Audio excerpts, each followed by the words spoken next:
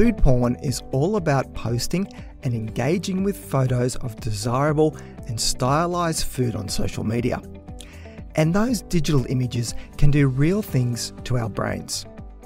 Researchers are now digging below the surface level of social media trends and are exploring how the sharing of food porn images can influence the food choices we make.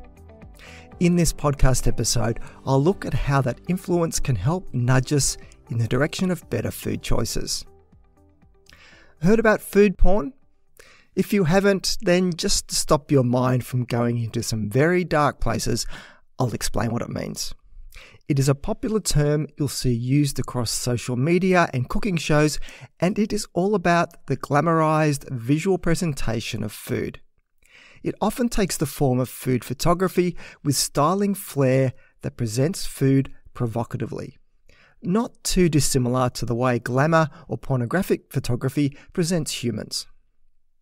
Whether you are a foodie or not, the trend of snapping your food and uploading delicious and drill worthy pictures to social media, especially Instagram, has hit almost everyone. It seems everywhere that we go, it is now natural for people to snap pictures of the food they are about to devour. But food porn as a term has not just arisen with the advent of social media you can trace its roots back to articles from the 1970s that mentioned food porn. Back then, the phrase was used in a literal sense and described food that was unhealthy. The term morphed with the rise of social media to a new meaning where food porn was used to describe food that was presented and prepared in an aesthetically appealing fashion. Social media platforms like Instagram, which had its start primarily for photo sharing, were tailor made to propagate the food porn trend. On Instagram alone, there are currently 290 million posts using the food porn hashtag. That's a lot of porn. Add to that communities interested in food and nutrition, then hashtagging pictures as food porn allows people to connect on many things to do with the food, such as culture, presentation, preparation, taste, and anything else that adds to the authenticity of the meal. But food porn doesn't just exist in the social media world. Nutrition researchers are now looking at this phenomenon to ask the question if food porn can be used to nudge people towards healthier food choices. And that was the topic of a recent commentary review about food porn and eating, which I'll link to in the show notes. Now, to start with, there is already research to show that looking at digital images of food can affect us, but under opposing directions.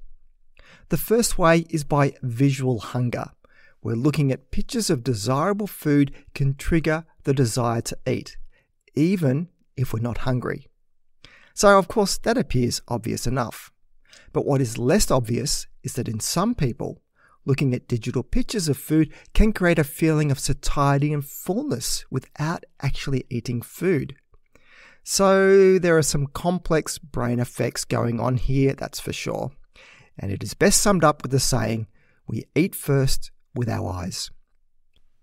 And to show the power that food presentation can have on our perceptions of food, one very simple study offered the same sample of brownies to volunteers, but they were presented in three different ways. All that was done was the brownie was put on either a bone china plate, a paper plate, or a napkin. Pretty simple, hey? Yet, when asked to rate the flavour, volunteers scored the brownie presented on the china plate as excellent. The one that was on the paper plate was rated as good, and the one on the napkin only got the rating of okay. And when asked how much they would pay for each brownie, then compared to the one on the napkin, they were willing to pay 50% more for the one on the paper plate and a whopping 240% more for the one on the china plate. Yes, we really do eat with our eyes. So, what about food porn itself? Can it be used to nudge people to make healthier food choices? The context for this question comes from the way we evaluate and compare ourselves against other people. I mean, social media as a whole is a perfect example of this by giving snapshots into the often perfectly curated lives of other people. This can be harmful when those comparisons create a negative self image. And already there is research to show that continual engagement with food porn images can create not only unhealthy eating behaviors, but also influence a more negative body image perception. But it is not all bad news here, as your peers on social media can also influence you by nudging you to consume extra food, be it unhealthy or healthy. One study conducted in the United Kingdom could show that people ate an extra portion of fruit and vegetables for every portion they thought their social media peers were eating also. So, although food porn can be stigmatized because it involves glamorizing, glorifying, and idealizing unhealthy food in a way that is unattainable in reality, it might also have a positive potential in influencing food choices if healthy foods are presented as alluring and glamorous as unhealthy foods. So, social media influence combined with healthy food porn does have merit in being able to promote healthier food messages and there is evidence to support this idea. One recent study in adolescents found that including healthy food porn in nutritional messages could create favorable associations because they were seen as pleasurable and pro nutritional images, which got their attention. And positive nutritional images were also found to promote more positive food choices compared to nutritional messages that didn't use appealing food porn images. Saying that, there is only a small amount of research in this area looking at how positive food porn images can influence healthy eating. But it is a good place where the research is going so far. But just to show how many different factors can influence our food choices, even the way food is described can influence our choices. In a study conducted in a university cafeteria at Stanford University, each day a vegetable dish was featured on the menu, and it was depicted in one of four different ways. The vegetable dish was described as either basic, for example, just as simply carrots, or described with a healthy, restrictive narrative, for example, carrots with sugar free citrus dressing, or a healthy, positive narrative, for example, smart choice vitamin C citrus carrots, or finally, with an indulgent description.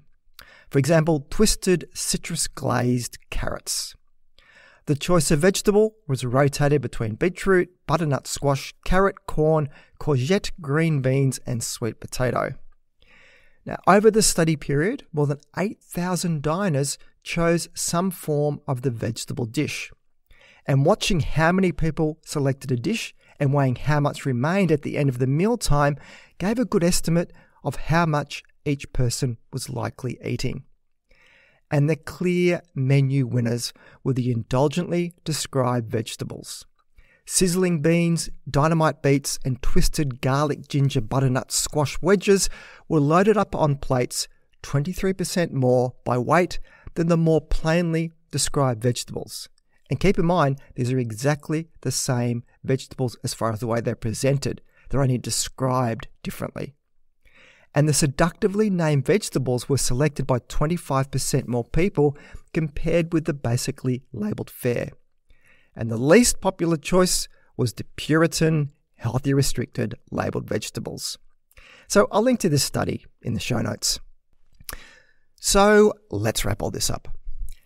How food looks and is described is one of the many important factors that influence what we choose to eat. And with social media such an integral part of many of our lives, then it can be used for positive purposes when it comes to food.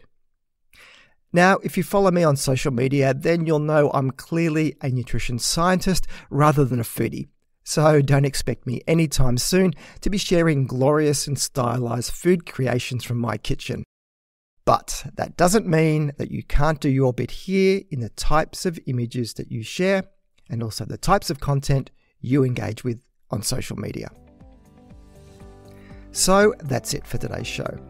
You can find the show notes either in the app you're listening to this podcast on, if it supports it, or else head over to my webpage at thinkingnutrition.com.au and click on the podcast section to find this episode to read the show notes.